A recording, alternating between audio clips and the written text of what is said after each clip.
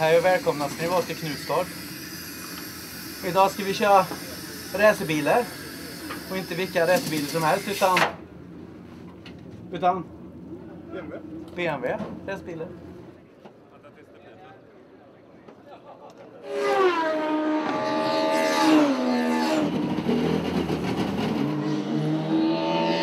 Vi började med bilen bra, sen vart den sämre och sämre för varenda förändring vi gjorde.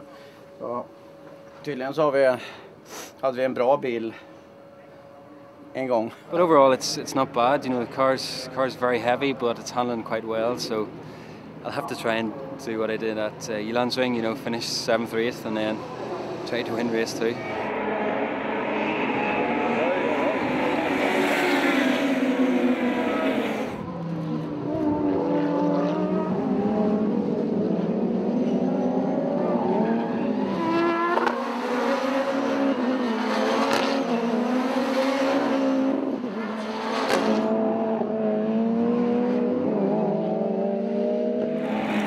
Yeah, tough race, you know, very warm. Um, but we uh, made up some ground, you know, finishing sixth is, uh, I think it's a good place to finish. You know, it puts me on the on the inside for uh, for race two. So uh, you know, we've really improved the car from uh, from yesterday. So uh, you know, I'm happy and hopefully find a little bit more. We might have a chance in the second race. Ja, jag blev fast bakom Roger Eriksson där. Jag körde väl rätt mycket snabbare än vad han gjorde, men det hjälpte inte för han, han stängde ju in i böjen och ut i böjen och mitt i böjen och överallt. Så vi tappade väl en sekund per varv eller någonting på dem framför.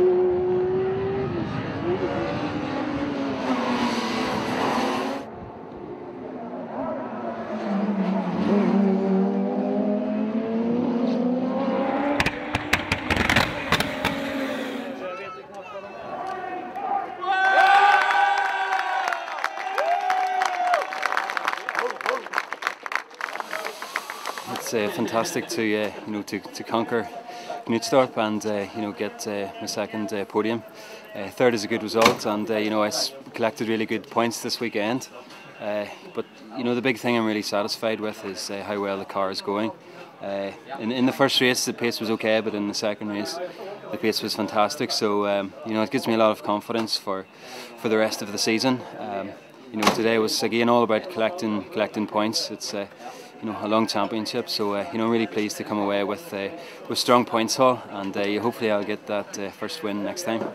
Startade 10 och körde upp mig till 7 och gjorde väl eh, bra tider kan vi säga. En bra plats. Om vi kunde få, om vi kunde få åka problemfritt i Mantorp nu och problemfritt på kvalet och sådär så vi kunde kvala lite längre fram så man är med och slåss där framme från början och slipper bråka med de här snabba killarna som faktiskt är väldigt snabba så skulle det kunna bli riktigt bra. Jag är faktiskt rätt så nöjd när jag åker därifrån nu även om det blev en 10 och en 7